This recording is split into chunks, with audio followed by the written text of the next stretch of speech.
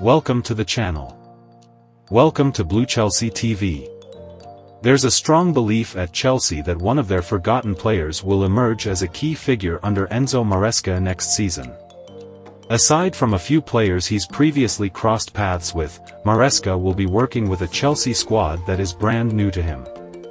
It'll be his first position as a senior manager in the Premier League, too. The Leicester coach previously worked with Romeo Lavia and Cole Palmer in Manchester City's youth team, plus he had Cesare Casadei on loan for the first half of last season. Take a moment to like the video if you are enjoying the content. Subscribe to the channel if you are bumping here for the very first time. Well-respected journalist Simon Phillips has reported via Substack on Thursday that Chelsea's Lavia could be a big winner from Maresca's appointment.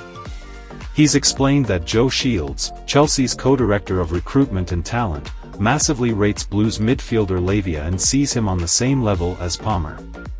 It is understood that the club have very high expectations of the 20-year-old Belgian youngster, who only played one game throughout the whole of last season down to injury. Phillips adds that the belief is Lavia will thrive in Maresca's 11, playing as the main deep-lying playmaker at the base of midfield. Romeo Lavia suits Harry Winks' position.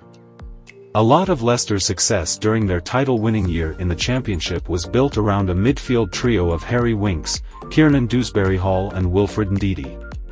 In particular, Winks sat as the base of the midfield knitting everything together from deeper pockets. Lavia's got the profile to be effective as a lone number 6 in and out of possession.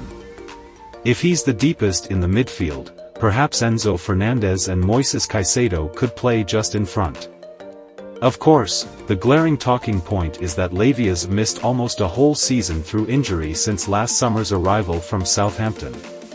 Chelsea fans can be forgiven for forgetting about someone who's played once for them so far, but it sounds like Maresca may have a midfield general if he can stay fit. That's all for now. Don't forget to like, comment and subscribe. See you later with another video. Until then, bye bye.